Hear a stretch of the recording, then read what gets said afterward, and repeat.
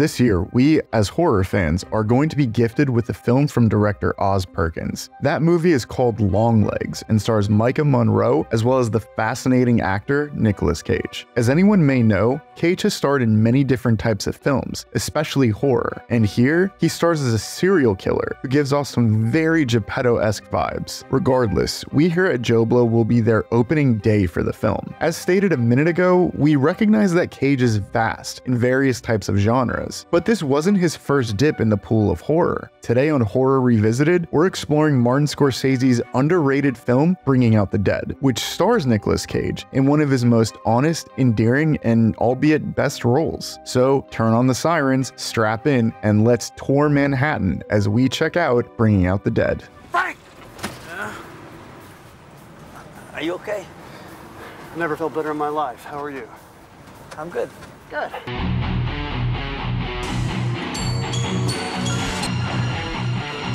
Nice hearing from you, Carlos. For those of you that don't know the plot of the film, let's quickly go over it. In this movie, we follow the intense life of Frank Pierce, a haunted paramedic in Manhattan. Set over three harrowing nights, the film delves into Frank's psychological turmoil and sense of despair as he navigates the chaotic, often gruesome world of emergency medical services. Haunted by the ghosts of those he couldn't save, particularly a young girl named Rose, Frank battles insomnia, guilt, and deteriorating sense of reality. Amidst his nightly encounters with drug addicts, homeless individuals, and other distressed souls, Frank forms a fragile connection with Mary Burke, the daughter of a heart attack victim he's trying to save. The film explores themes of redemption, human suffering, and the thin line between life and death, all set against the gritty backdrop of New York City. While this may come as a surprise, it isn't an original idea. This was adapted from the novel of the same name by author Joe Connelly. Connelly's novel drew heavily from his own experiences as a paramedic in Hell's Kitchen, New York. The book offers a raw, unflinching look at the life of an EMT and the emotional toll of constantly dealing with life and death situations. Its vivid depiction of the urban landscape, coupled with the psychological depth of its protagonist, provided fertile ground for a cinematic adaptation. Just keep driving, keep moving, no stopping. We're sharks. We stop too long, we die. And in 1998, producer Scott Rudin acquired the rights to the novel through Paramount Pictures for a film adaptation. Paul Schrader was hired as screenwriter. His knack for exploring tormented, existential characters made him an ideal choice, and his screenplay retained the novel's dark, introspective tone, delving deeply into the psyche of Frank Pierce, the haunted paramedic at the story's center. Before he wrote the script, Paul went out on several ambulance runs to get a feel of what EMTs have to put up with on a normal night. Martin Scorsese, intrigued by the novel, signed on to direct. Scorsese has also had a long-standing interest in gritty urban narratives, and his previous collaborations with Schrader, especially on Taxi Driver, made him a natural fit for this movie. His direction aimed to capture the frenetic energy of New York City and its inhabitants. I know you. Ah, you don't know me? Oh, yes, I do, Pedro. You don't know me? I, I do, I do. I know you. I, I know him. I know him. I don't think so. This movie has a huge cast, but let's start out with the standout first, Nicolas Cage. He was cast as Frank Pierce, bringing his unique intensity and depth to the role. Cage's portrayal of a man on the brink of psychological collapse is not only compelling, but also heartbreaking. It's definitely him at his A game. Originally, Paul Schrader had Edward Norton in mind for the role of Frank. Can you imagine how that would have drastically changed the film? Patricia Arquette, who was married to Cage at the time, plays Mary Burke, a woman who becomes a source of solace for Frank amidst his turmoil. The other members of the supporting cast include John Goodman, Ving Rhames, Marc Anthony, Aida Turturro, Cliff Curtis, and Tom Sizemore. Also in a Don't Blink or You'll Miss It role is Judy Reyes. She plays an ICU nurse and would later go on to play a huge role as a nurse on Scrubs. And last but not least, Martin Scorsese and Queen Latifah provide voiceover roles for the two dispatchers. You gotta hand it to Marty to always cameo in his own films. I'm not your baby, young. I'm not your mother either. You go into a cardiac arrest. It's a club. Take the back end. Ah, 10-4, sweet mama. Production began in December of 1998. Filming took place in Manhattan and was shot over 65 days. The filming took place at night to accurately depict the paramedics' graveyard shifts, which presented challenges in terms of logistics and maintaining continuity. The filmmakers also had to ensure the authenticity of the medical procedures and equipment used by the paramedics. Cinematographer Robert Richardson employed dynamic lighting and camera techniques to mirror Frank's disoriented mental state, often using handheld cameras that would create a sense of immediacy and chaos chaos. When production wrapped, Marty would go on record stating he hated filming this because of the harsh December weather conditions. Why did you kill me, Frank? I didn't kill you. No, you didn't, Frank, and thank you, but there's still a couple hours left on our ship. As in any Scorsese film, we are treated to a standout soundtrack, usually some Rolling Stone songs. Here as well, Marty selected a diverse range of songs that reflect the film's themes and enhance its atmosphere. Some of these tracks include songs by Van Morrison, The Clash, REM, UB40, Martha and the Vandellas, and The Who. The songs also complement Elmer Bernstein's original score and make for a very engaging narrative. Before we continue with our video, here's a reminder to click the store tab on any of our Joe Blow channels and browse our collection of the latest and freshest designs in our merch store. Go get you some. Bringing Up the Dead will release in theaters on October 22, 1999. On its opening weekend, it ranked in fourth place, behind newcomer The Best Man, and grossed $6 million.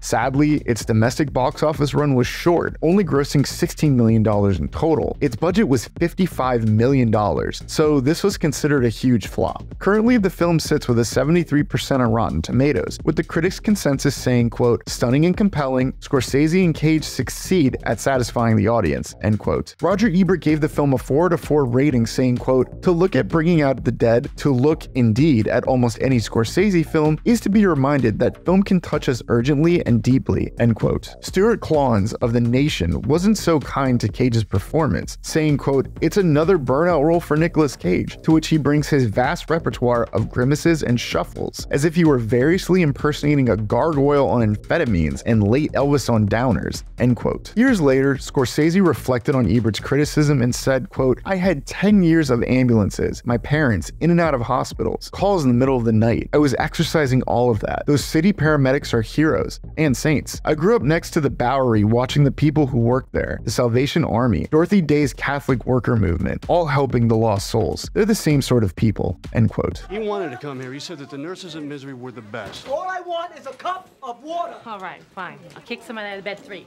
Bringing Out the Dead was released on VHS and DVD on March 28, 2000. Typically, when Paramount would release DVDs back in the day, you'd be lucky if it came with any special features at all, besides the film's trailer. So, with this movie, it might not be much, but Paramount kindly provided cast and crew interviews. Strangely, we've never seen a high def release for this movie until now. Paramount recently announced that they will be releasing a 4K set as part of the Paramount Presents line on September 17th, 2024. It will come packed with new bonus features, including tons of new interviews by the cast and crew. I don't know about you, but you can bet I will be purchasing this day one. Please, folks, step back.